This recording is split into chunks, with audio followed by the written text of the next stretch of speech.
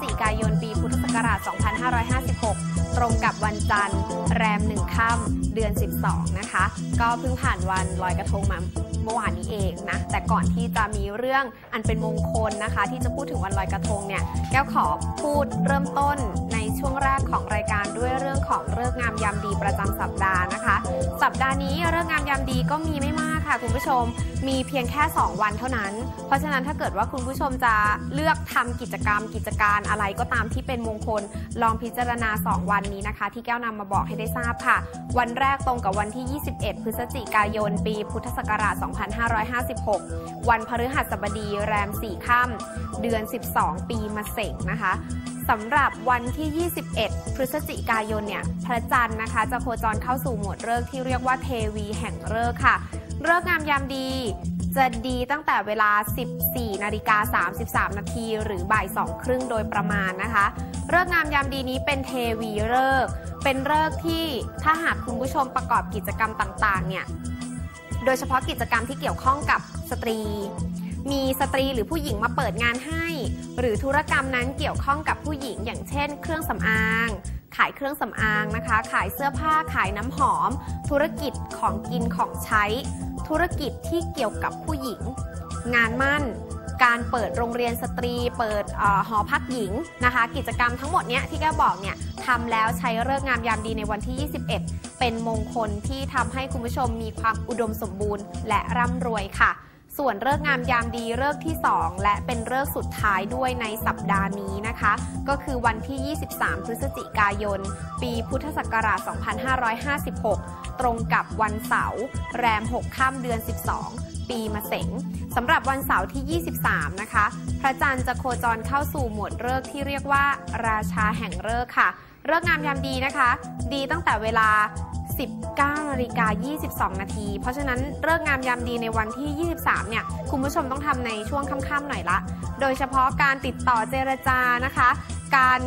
รับตำแหน่งใหม่การย้ายเข้าที่ทำงานโอเคแหละคุณผู้ชมอาจจะรับตำแหน่งใหม่ในช่วงกลางวัน หรือว่ามีข่าวดีแล้ว มีการโยกย้ายการเปลี่ยนแปลงมีกิจกรรมอันเป็นมงคล มงคลที่วางแผนเอาไว้แล้วตั้งแต่ในช่วงกลางวัน แต่ว่าการทำกิจกรรมอย่างเช่น การจะโยกย้ายเอาเลิกเอาชัยรับตำแหน่งใหม่เข้าที่ทำงานใหม่ แบบเป็นเลิกมงคลเป็นการเอาเลิกเอาชัยคุณผู้ชมก็ทำในเวลา1ทุ่ม22นาทีนะคะ ก็ถือว่าเป็นผลดี การขอความช่วยเหลือจากผู้ใหญ่ การเจรจาติดต่อนะคะ ธุรกิจที่เกี่ยวข้องกับการค้าขาย ที่เกี่ยวข้องกับต่างประเทศนำเข้าส่งออกนะคะ จะเป็นมงคลที่ทำให้ได้รับความสำเร็จ แล้วในวันนี้เนี่ยถ้าเกิดคุณผู้ชมขอให้ผู้ใหญ่ เมตตาช่วยเหลือในเรื่องใดเนี่ยนะคะ ก็จะมีคนช่วยเหลือสมปรารถนา เพราะฉะนั้นคุณผู้ชมก็พิจารณาดูว่าเรื่องงามยามดีในสัปดาห์นี้เนี่ยเหมาะ กับคุณผู้ชมหรือไม่จะเริ่มทำกิจกรรมที่เกี่ยวข้องอย่างที่แก้วบอกหรือเปล่า ถ้าเกี่ยวข้องก็ทำได้ตามวันและเวลาที่บอกนะคะ ก็จะเป็นมงคลเสริมดวงชะตาให้กับคุณผู้ชมด้วยค่ะ ซึ่งข้อมูลนะคะ แก้วนำเอามาจากหนังสือปฏิทินโหรปีพุทธศักราช 2556 โดยสถาบันพยากรศาสตร์นะคะสำหรับข้อมูลของปฏิทินโหรเนี่ยนะคะ มีเอาไว้อย่างละเอียดเลยสำหรับเรื่องของเลิกษ์งามยามดีในวันต่างๆ เรื่องของสุดยอดดวงฤกษ์ประจำเดือน เรื่องของสีที่เป็นมงคล ทิศที่เป็นมงคล วันของเงินจากพระจันทร์นะคะหนังสือปฏิทินเล่มนี้เหมาะกับการเอาไว้ใช้เป็นคู่มือประจำบ้านมาก ถึงแม้ว่าในปัจจุบันนี้เนี่ยกำลังจะเข้าสู่สิ้นปีนะคะ แต่ว่าในปีหน้าปีพุทธศักราช 2557 เนี่ยทางสถาบันพยากรศาสตร์ก็จะจัดทำปฏิทินนะคะ ปี 2557 เอาไว้ให้กับคุณผู้ชมเช่นกัน เพราะฉะนั้นถ้าเกิดว่าคุณผู้ชมสนใจ ก็ติดต่อสอบถามได้ค่ะ ที่สถาบันพยากรศาสตร์ตามเบอร์ที่ขึ้นให้ที่หน้าจอในขณะนี้เลยนะคะ แล้วก็ตามที่แก้วได้บอกไปตั้งแต่ช่วงต้นของรายการว่า เมื่อวานเป็นวันสำคัญนะคะ วันเพ็ญขึ้น 15 ค่ำเดือน 12 วันลอยกระทง หรือเป็นการขอขมาต่อพระแม่คงคานั่นเองค่ะ เมื่อวานแก้วก็พาครอบครัวนะคะ คุณพ่อคุณแม่น้องสาวไปร่วมประเพณีนี้ที่สืบสานกันมายาวนานแล้วล่ะค่ะ ตั้งแต่สมัยกรุงสุขโขทัยนะคะ ก็ไปลอยกระทงขอขมาต่อพระแม่คงคา รวมถึงเป็นการลอยทุกข์ลอยโศก ลอยภัยลอยเคราะห์ต่างๆเนี่ยนะคะ ให้พ้นออกไปจากตัวเราที่สำคัญเนี่ยแก้วได้ติดตามอ่านหนังสือพิมพ์นะคะ ก็เป็นเรื่องที่น่าปรับปลื้มปิติใจเป็นอย่างยิ่งวันนี้ก็เลยนำเอาเรื่องดีๆ มาประชาสัมพันธ์ให้คุณผู้ชมได้ทราบเป็นเรื่องขององค์พระบาทสมเด็จพระเจ้าอยู่หัวหรือในหลวงของเรานั่นเองละค่ะ เมื่อวานนี้เนี่ยนะคะในหลวงทรงลอยพระประทีปค่ะที่วังไกลกังวลนะคะ ซึ่งรูปภาพแล้วก็เนื้อหาเนี่ยนะคะ แก้วนำเอามาจากหนังสือพิมพ์ไทยรัฐนะคะ ที่ได้ลงเอาไว้ว่า ในหลวงเสด็จท่าลัดดาวังไกลกังวล ทรงลอยพระประทีปเนื่องในวันลอยกระทง เมื่อวันที่ 17 พฤศจิกายนนะคะ เวลา 16นาฬิกา39 นาที พระบาทสมเด็จพระเจ้าอยู่หัว เสด็จลงณท่าลัดดาวังไกลกังวลอำเภอหัวหิน จังหวัดประจวบคีรีขันธ์ทรงประกอบพิธีลอยพระประทีปเนื่องในวันลอยกระทงประจำปี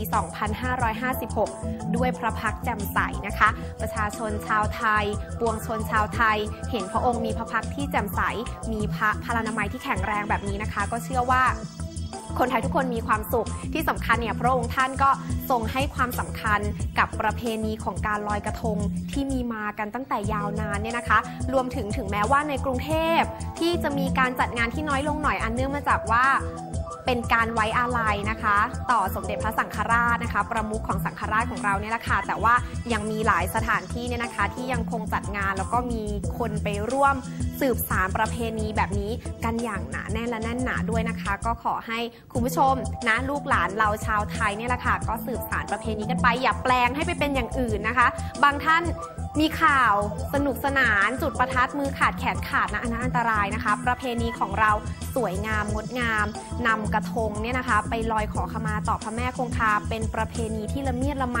มีความวิจิตรบรรจงนะคะ เป็นการแสดงถึงความตั้งใจในการที่จะขอขมาพระแม่คงคา ก็อยากให้คนไทยรักษาประเพณีนี้เอาไว้อะนะคะสำหรับองค์พระบาทสมเด็จพระเจ้าอยู่หัว พวกเราชาวไทยเห็นข่าวแบบนี้ ก็ปรับปลื้มปิติใจนะคะ ก็ขอให้พระองค์มีพระชนมายุยิ่งยืนนานค่ะ ก็นำเอาข่าวดีๆ เป็นมงคลของในหลวงของเรานะคะ มาเปิดรายการพร้อมกับวันสำคัญที่เพิ่งผ่านไปเมื่อวานก็คือวันลอยกระทงค่ะ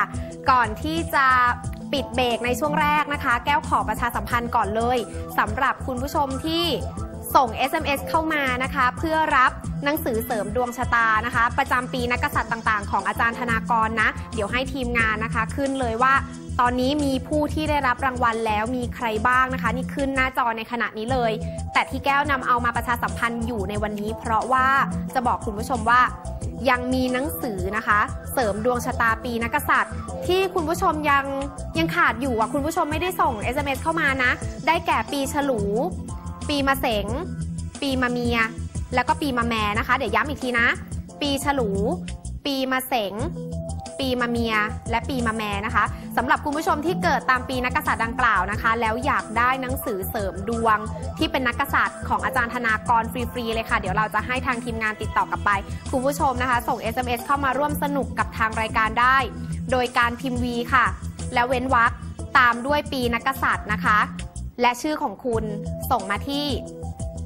483 8377 นะคะ ตอนนี้เหลืออยู่อีก 4-5 ปีนักกษัตริย์เท่านั้นเอง เพราะฉะนั้นคุณผู้ชมที่รับชมรายการอยู่ ในวันนี้นะ ส่ง SMS เข้ามาได้เลย 4 เล่มสุดท้ายแล้วนะคะ ใครจะเป็นผู้โชคดี 4-5 เล่มสุดท้ายนี่แหละค่ะ ฉลู มาเสง